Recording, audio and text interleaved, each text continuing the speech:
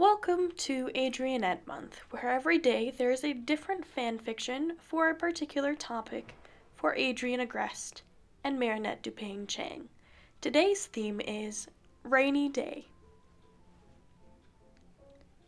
I love the rain, Adrien whispered, looking out at the gray sky.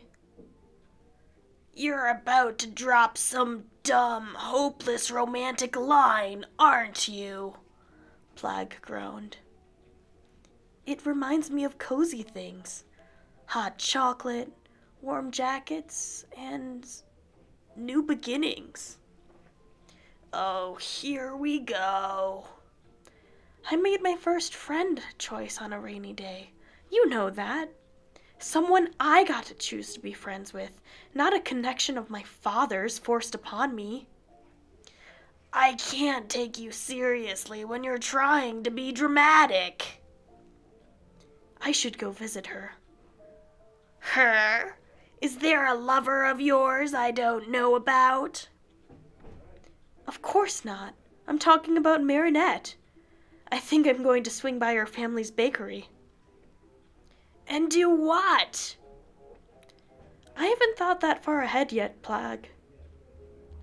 I will never understand you humans. Adrien rolled his eyes and zipped up his jacket, making sure Plagg had flown in before doing so. It was a light drizzle outside, and, despite Natalie's protests, he ran outside without grabbing an umbrella. He loved walking the streets of Paris when he was allowed to. There was something magical about it, despite the consistent smell they gave off. Make sure you ask for camembert while you're there, Plagg whispered. I don't want them to think I'm a freak, Adrien hissed, walking through the doorway. The bell rang, and Tom Dupain appeared from the back with a large, warm smile plastered over his face. Why, if it isn't Adrien! he exclaimed, his voice booming through the bakery.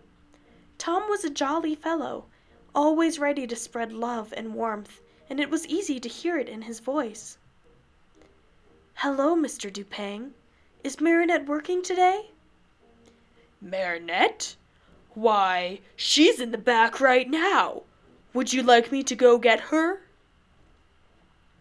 Um, actually, no. That's all right. If she's working, then I don't want to distract her, Adrien said. His face must have shown some form of disappointment because Tom instantly turned around to grab his daughter. Marinette, you have a visitor, he bellowed. Adrien felt his face flush as the flour caked girl peeked out from the back. Adrien? she squeaked. What are you doing here? He knew he needed to think fast. Why was he there? He glanced outside at the gray, wet Parisian streets and back at her. Warmth. Flour. Rain. Sweets. Cookies. Chocolate chip cookies? I. Uh. he began, shifting his weight between his feet. I was wondering if you'd help me bake something. Um, yeah. Okay. What did you have in mind? I want to make some cookies for Natalie and my bodyguard. Oh, chocolate chip? Yeah, I'd figured they'd like something sweet and warm on a day like this. Sounds great. Come right on back. I'll run upstairs and grab some chocolate. Great, Adrien said, taking out his wallet and turning to Tom. How much would you like for the ingredients?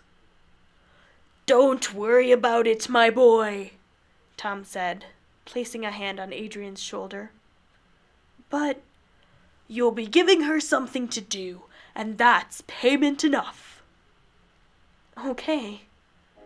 Adrien shot him a smile and made his way to the back where the top halves of macaroons sat, awaiting their turn in the oven. Is semi sweet good, or would you prefer milk? Marinette yelled. Semi sweet is fantastic, Adrien said, setting his jacket on the back of a chair and rolling up his sleeves. Great. If you start dicing the butter, then I'll grab the eggs. Twenty minutes later, the cookies were finally in the oven, and Adrien was covered in flour from trying to catch Marinette as she slipped down the stairs. She apologized profusely, of course, but he didn't mind. If anything, her embarrassed face was cute. Hey, he said, gesturing to his shirt, do you mind if I borrow your washing machine? What? Um, sure. I can find one of my dad's shirts to wear. I mean, it'll be big for you, but it's the best we've got. Oh, don't bother, Adrien said, taking his shirt off. I've become used to being topless. We can just watch a movie or something while it's in the machine. She turned a deeper shade of pink as Adrien realized why she was suddenly taking special care to hold his eye contact and quickly swept his shirt back to his chest as a weak attempt to cover up. Well, um, she began, turning around as she took the shirt from him. On second thought, I'll take your dad's shirt. Thank you, he said, his face now a cherry red. Of course! She sprinted upstairs as he looked around for something to cover himself. The last thing he wanted was for her father to come back while he was topless. Which is, of course, what happened. He raised his eyebrow at the boy as he walked in, unsure what to make of the scene in front of him. Adrien was grateful that Marinette wasn't there, but that's about as good as the scene got. To his surprise, Tom began laughing, almost losing his balance as he did so. I take it you had an intimate relationship with a bag of flour, didn't ya? Um, yes, sir. Adrien blushed, realizing the white powder had made his hair its new home. There are some extra shirts in your size for our hired help hanging in the broom closet over there. Get yourself covered and make your way upstairs while they bake. Once they've finished, I'll bring them upstairs. Yes, sir.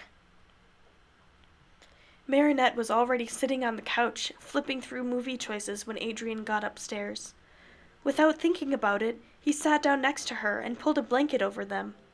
The boy had no idea why she stiffened up at his action, but it didn't matter. He was hanging out with his friend on a rainy day. Fifteen minutes later, they were munching on warm, gooey chocolate chip cookies. It was a great rainy day.